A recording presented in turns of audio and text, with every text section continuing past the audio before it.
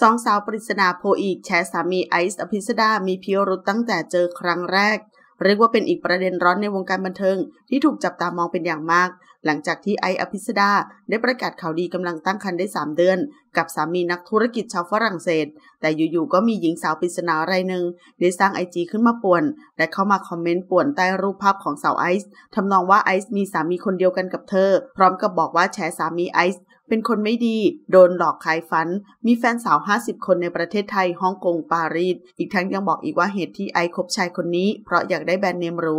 ซึ่งอย่างไรก็ตาม นอกจากไอจีดังกล่าวแล้วยังมีหญิงสาวปริศนาอีกสองรายผุดขึ้นมาแชร์เพิ่ม โดยรายแรกได้มีการโพสต์ระบุ ผู้ชายเป็นคนเจ้าชู้จริง ๆ เราคือคนที่เคยเดทกับนางนานมาแล้วก่อนโควิด เจอกันที่ผับผับหนึ่งแถวสุขุมวิท เจอครั้งแรกนางมากับผู้หญิง และให้ลูกน้องมาชวนเราไปที่โต๊ะ ตอนแรกเราก็นึกว่านางมีเมีย แต่ไม่มีค่ะ มาขอคอนแทคเรา บอกผู้หญิงคนนั้นไม่ใช่แฟน ซึ่งตอนนั้นนางยังไม่ได้มาอยู่ไทยนะ นางมาไทยเพื่อมาทำธุรกิจและหาที่อยู่ เพื่อจะย้ายมาอยู่ไทย หลังจากนั้นนางก็คุยกับเรามาตลอด ชวนเราให้ไปฝรั่งเศส จะจ่ายให้ทุกอย่าง ซึ่งเราไม่ไป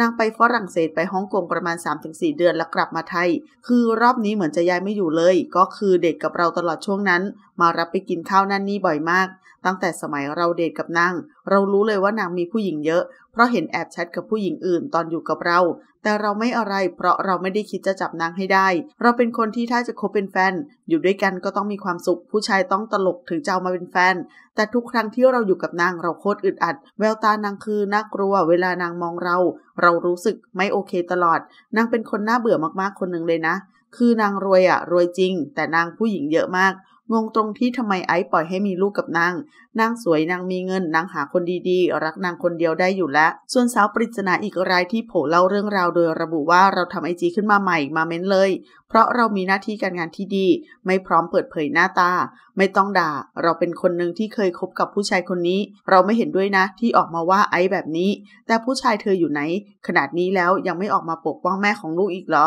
มาต่อที่เรื่องผู้ชายเขาเป็นลูกคนมีตั้ง คุณพ่อเสียไปแล้ว น่าจะได้รับแบ่งมรดกมาเยอะ แม้เป็นจิวิสไม่ทานหมูห้ามเอาอาหารที่ผสมหมูเข้าที่บ้าน สมัยที่คบกับเราอยู่คอนโดริมแม่น้ำชั้น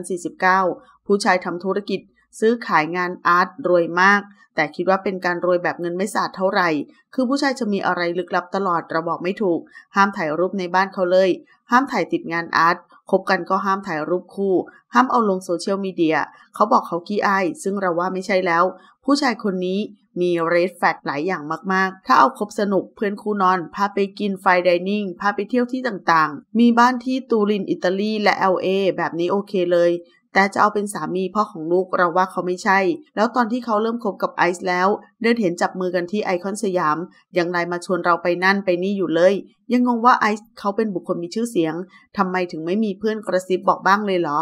ขอขอบคุณข้อมูลจากทีนิวส์ขอบคุณค่ะ